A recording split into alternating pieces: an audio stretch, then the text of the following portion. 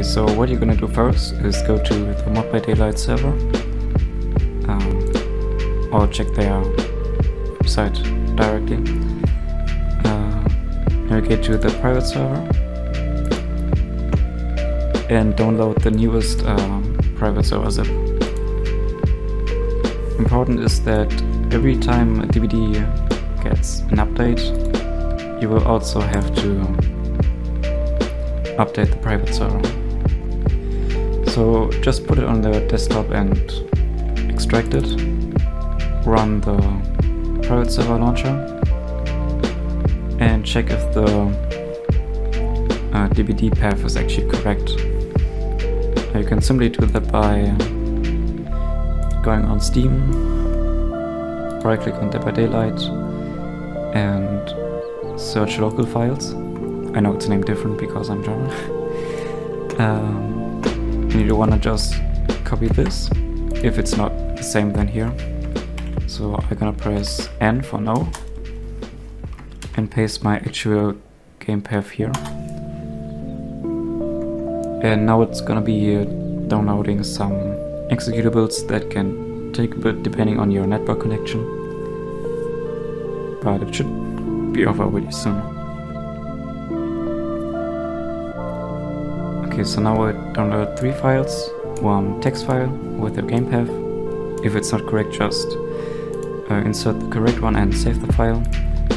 And two folders with executables, which aren't important for us right now. So next is you wanna go to Mod by Daylight again and look for the FreeCam mod by Krumpus Wumpus, Crunch and Scissors uh, and just go there download these two.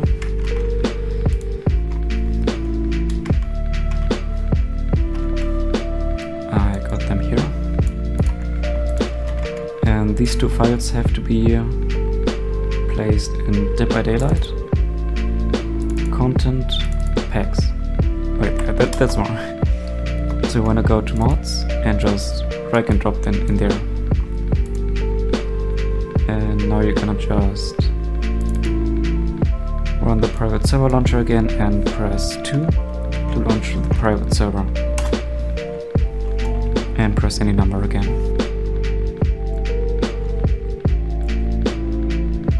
Okay, so now we're actually in the private servers. You can see that, that you can access the archives and also when you go into a custom game you can see you got all the cosmetics, all the characters unlocked, you got everything pretty much. So for our purpose we will just go, will just select survivor and we can select any map, that for instance, and just hit ready. Because we're actually able to load into a match when we're alone on the private server. So now we are in the game alone. I actually accidentally already turned the overlay off, but normally you just, you know, see your perks, icons, everything. And now you want to press 0 on your numpad, which will toggle the, the free cam. And you can now move around freely with WASD and with Q you go low and with E you raise up just like normal. Else can be done with uh, control and space. Uh, I mean yeah, that's pretty much it. You can toggle your FOV with O and P. With O you can increase it and with P you can decrease it. And now you can pretty much just record any proper cinematics without going to dev build. Okay, so right now I'm gonna change from the mod from Krumpus Wumpus to Shmoul's mod, which has way more aspects to it.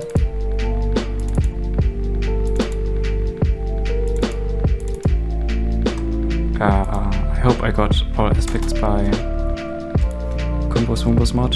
If not, I'm sorry.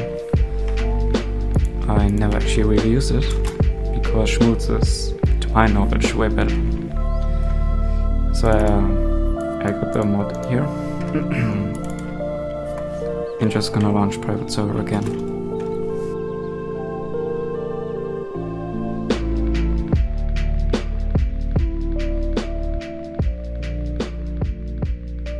Okay, so once again, I'm gonna go into a custom game.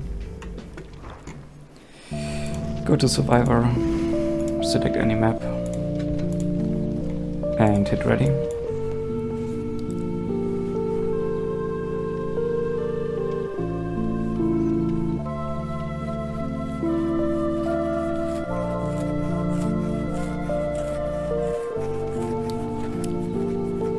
Okay, so we loaded in. and I still got my uh, overlay, my HUD. Okay, so when I hit 1 on my numpad actually, uh, you can see that I spawn in the free cam. I can move around very smooth. And with F10, I put up a whole menu of settings I can use. On the general, we can find hide HUD, that's very useful because obviously it looks way better. Uh, cross spawning uh, is by default toggled off, but you can of course turn it on if you want, whatever.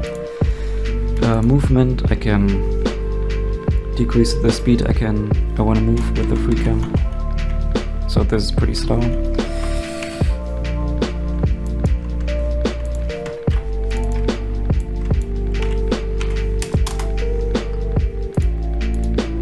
Turning is not very important for me.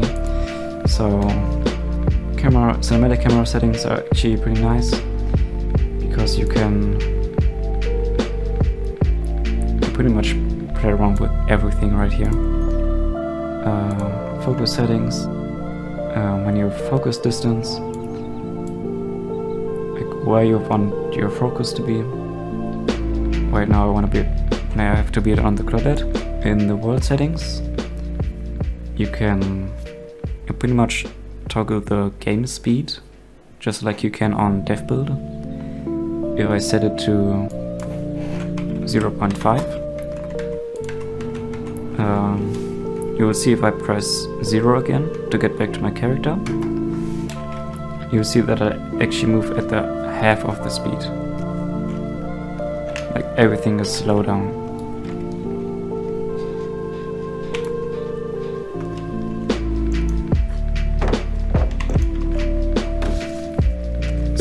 See slow down. Which of course can also be done in the opposite direction. If I want to go double speed, I just do this and pretty much zoom around the world. So what I forgot to mention there is that if you press like any other number on the numpad, you can actually use several recams, cams not at the same time, but you can pretty easily switch uh, from each to each and actually set personalized uh, settings for each. So yeah, but let's get back. And the green screen, of course. Wait, let me get to my character. Okay, so the green screen. Let me reset all this.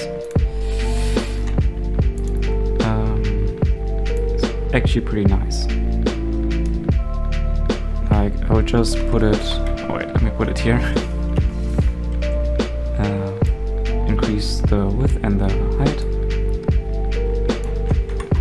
I mean, that's how I recorded all my cinematics for um, the Bot B montage, the ATWW montage, pretty much everything. So, yeah. Maybe get some friends to play DevBuild 2, uh, not DevBuild, private server. So you can mess around with the camera while they're playing. So you get even more epic shots. And maybe make sure to install reshades, because this is fucking ugly.